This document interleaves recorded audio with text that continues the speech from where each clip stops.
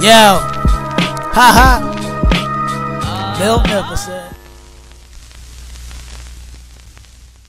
What is good, YouTube? Your boy Milton Miltnificent back with another quick video. And today, the Off-White, Brooklyn, Green Sparks. I, I don't know how you want to label this. The Air Force Ones dropped today, both on the Off-White website, which I really think that there wasn't that many pairs.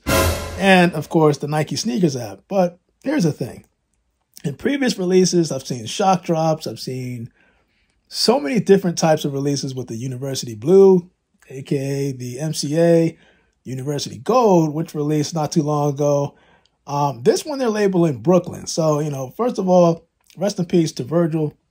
He's done nothing but give us inspiration um, in terms of his creativity for issues. I only have the off-white uh, Jordan 5 Sails. But to my point, when I see these drops and I see the hype and you know the pricing in terms of resale, I don't really look at resale to as a factor as to whether I'm gonna get the shoe or not. What I look at is the quantity.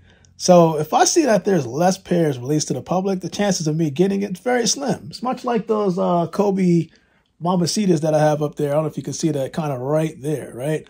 So, and knowing that I possibly had no chance at getting this shoe, especially size 13, and supposedly these were the stock numbers for the Nike sneakers app. Again, this just take it with a grain of salt because it may or may not be true.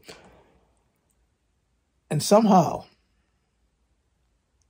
your boy took this. Like, I'm not even shocked at this point, but comment below and let me know if you were able to hit on any of these pairs because looking at the stock, that's not a lot.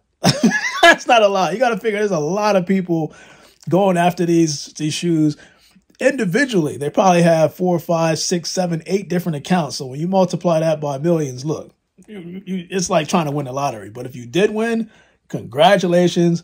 Play the lottery. Do something because the, the chance of you hitting on this is very, and I mean very slim. Jeez. Your boy Miltnificent, man. It is Tuesday. What a way to start the morning.